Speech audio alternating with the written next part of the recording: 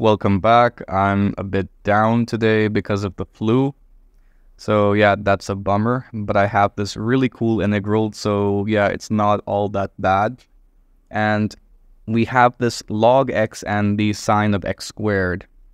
So yeah, you probably would have guessed by now that we're gonna get a pretty cool result at the end, but this time it's not the result that's got me excited, it's the actual solution development because it allows me to use two of my favorite tricks or integration hacks.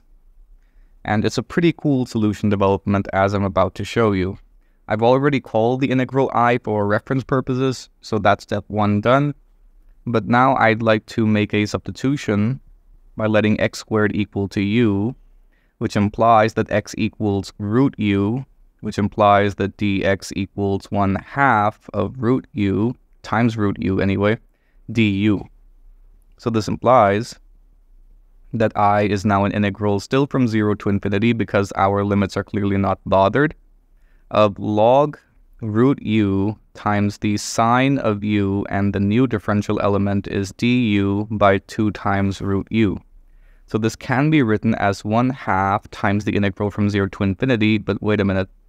This is log root u, and we know that we can write this as 1 half of log u, so that means instead of 1 half, I have a quarter outside, log u, sine u, and we also have this u to the negative 1 half being multiplied by it, and we're integrating with respect to u. Okay, cool, but now I'd like to rename the dummy variable back to x because it doesn't matter what you call the dummy variable, you can just rename all the u's back to x because that doesn't alter the structure of the integral. The structure remains intact, so it's the same integral. We have the integral now of x to the negative 1 half times sine x times log x dx. And now I'd like to introduce a bit of complex analysis because why not? We have the sine function. And we know from Euler's wonderful formula that the imaginary part of e to the ix is the sine function, that's sine x. So this implies that i equals a quarter of the integral from 0 to infinity.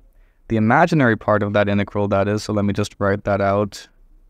Imaginary part of the integral from 0 to infinity of x to the negative 1 half times e to the ix times log x dx. And now to integrate this thing my favorite way, that is the Feynman way. Let's define the integral function i of some parameter alpha as the integral from 0 to infinity of x to the alpha times e to the ix dx.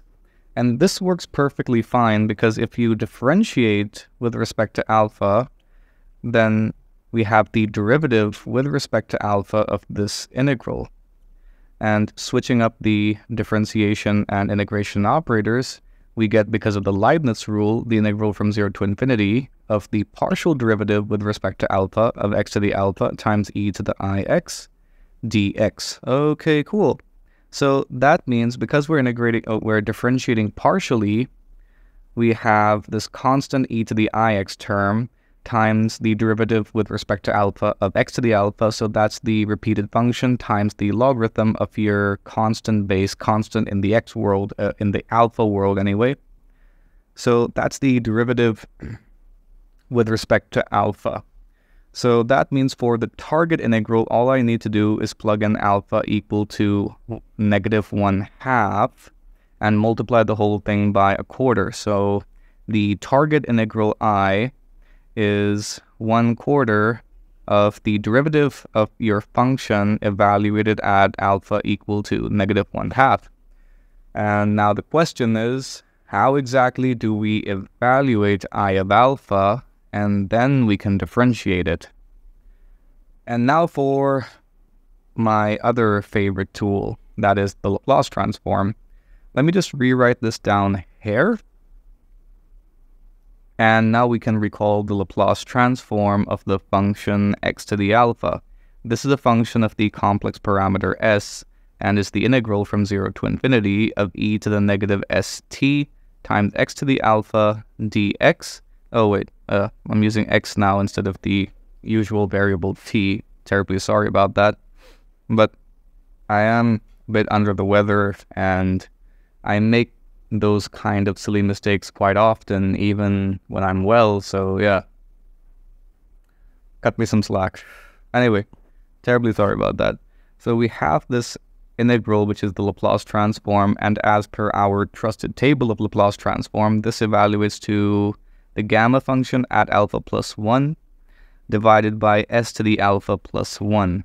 Okay, cool. So that means on comparing the two structures, the two integrands, we see that s in fact equals negative i, or the reciprocal of i, which is extremely cool. I always mention that it's very cool that the negative of the imaginary unit is its own reciprocal. I always find that really nice, honestly. I always do.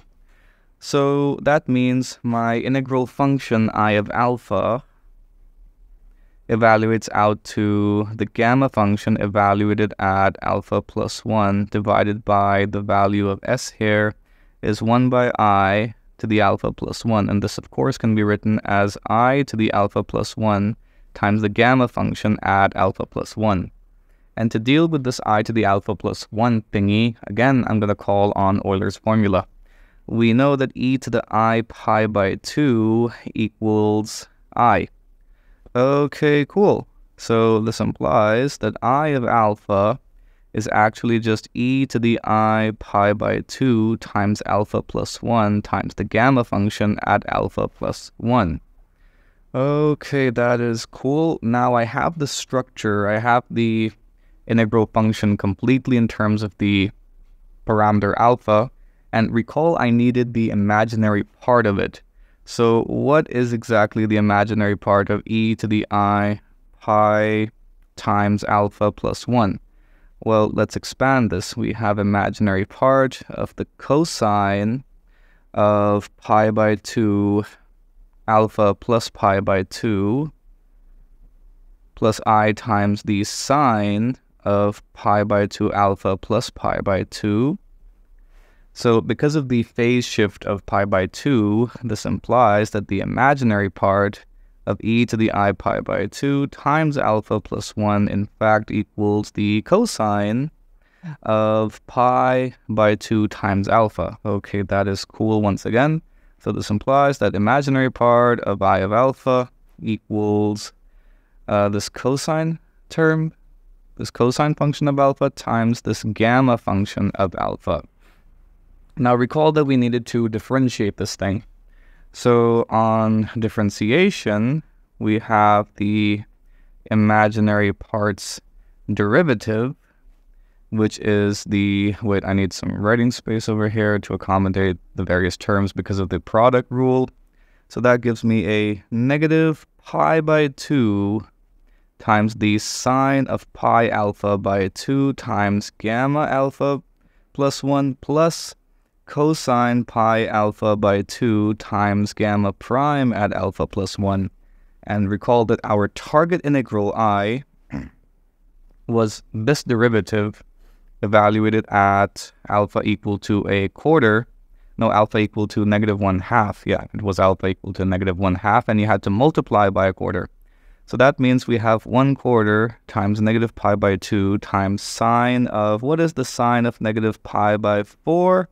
That is negative 1 by root 2. So you have some nice cancellation happening there, times the gamma function at 1 half, which is, of course, wonderfully root pi, plus the cosine, uh, now the cosine is an even function, so you get 1 by root 2, and you need the derivative of the gamma function at 1 half. And I have an Instagram write-up, link in the description below, for the important derivatives of the gamma function.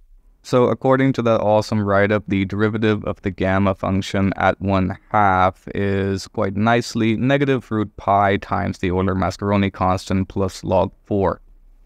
Okay, so this implies that i equals a quarter of pi times root pi by 2 times root 2. That does look quite nice plus 1 by root 2. So that's a negative root pi by root 2 times Euler-Mascheroni plus log 4.